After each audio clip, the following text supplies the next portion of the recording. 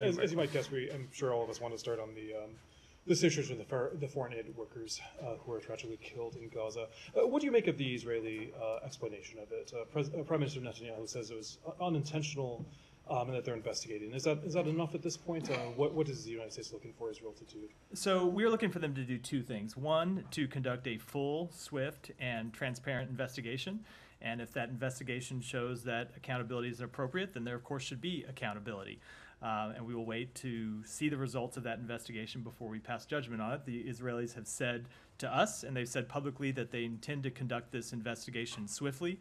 Um, we want to see it wrapped up as soon as possible um, and see them put in place any measures to prevent this from happening again in the future. And that's the, go to the second point that we think we need to see. Not just and they don't have to wait for the outcome of this investigation to do it.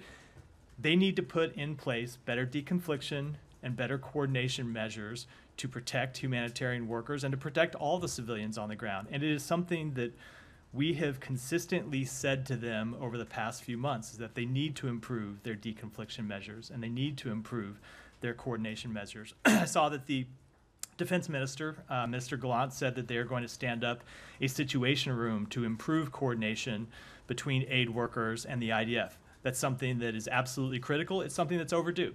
Secretary Blinken has, in his conversations with Israeli counterparts, made the case for some time that they need to stand up something like that. He raised that with Minister Gallant as recently as last week when he was here in Washington. And so we're glad to see them do it. Should have been done sooner, um, but it's an important step for them to take going forward. But ultimately, as is as the case case with all of the measures they put into place, we're going to judge them on the results, not the intent.